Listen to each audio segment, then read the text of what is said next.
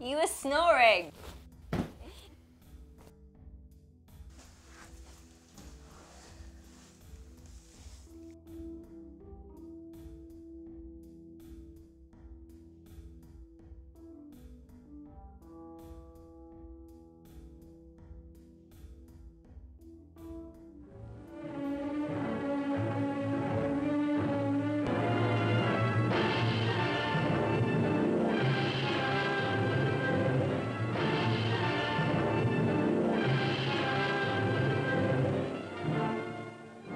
My heart felt so cold and lonely, like a motel alongside an empty road.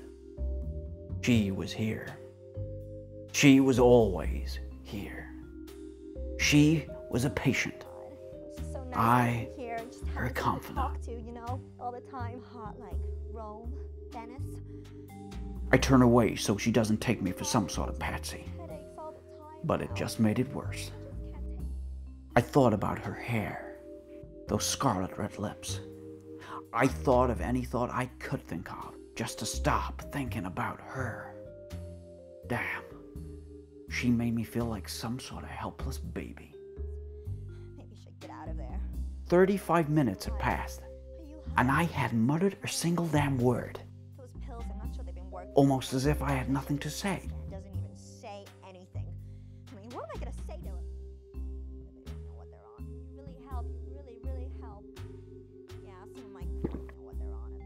Ah, that's better. Numbs the senses. She ain't making no sense with me being sober. I quite like one as well. So what know, harm's that's a drink nice gonna here. do me? So what do you think? What did I think? I hadn't a damn clue what to think. I hadn't heard a word she'd said. God damn it, you son of a bitch. Answer me. No good ever came from a dame with eyes that blue. You hear about these dames all the time. It was in the paper this morning.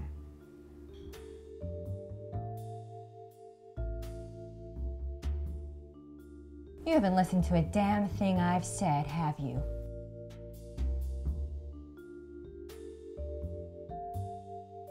Again, I thought about her hair, those scarlet red lips. I thought of any thought I could think of, just to stop thinking about her. Again and again, I pour my heart out to you. Are you there? Don't you care about me? At that moment, it hit me like a ton of bricks.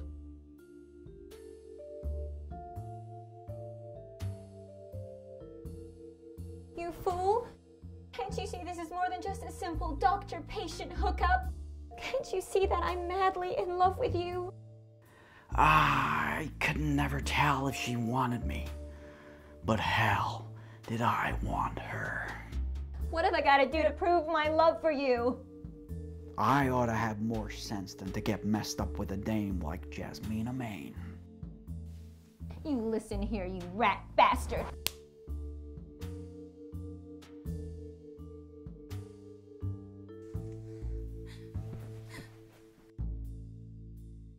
If I can't have you, I'll see to it no one else can either.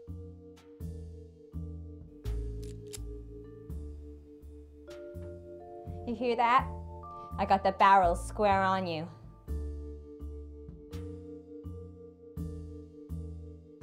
Speak to me. I'm begging you. You rarely meet a girl like Jazz. So beautiful. So exotic. Oh, go to hell. So dangerous to know.